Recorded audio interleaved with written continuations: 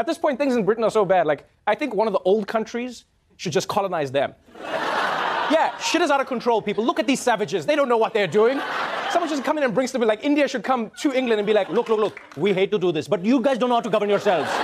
We have to, we have to fix this. We have to fix this entire thing. It's for you, it's not for us.